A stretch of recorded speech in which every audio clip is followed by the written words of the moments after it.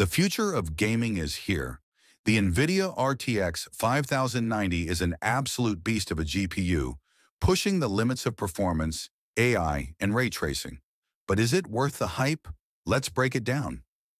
The RTX 5090 is built on NVIDIA's cutting-edge Blackwell architecture, packing a whopping 21,760 CUDA cores, a 33% increase over the RTX 4090.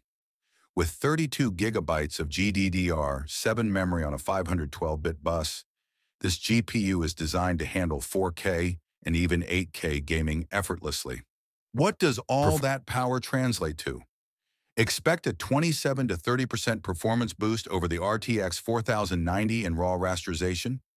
And with DLSS 4, NVIDIA's latest AI-powered upscaling, frame rates are smoother than ever, even in the most demanding games.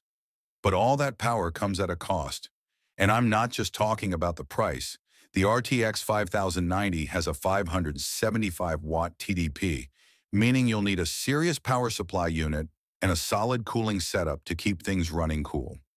Speaking of cost, the RTX 5090 is priced at $1,999.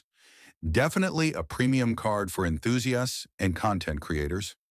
So, is it worth it?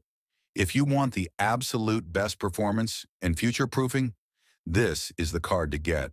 But for most gamers, the 4090 might still be the sweet spot. What do you think about the RTX 5090? Is it worth the upgrade or is it overkill? Let me know in the comments. Don't forget to like and subscribe for more tech content. See you in the next one.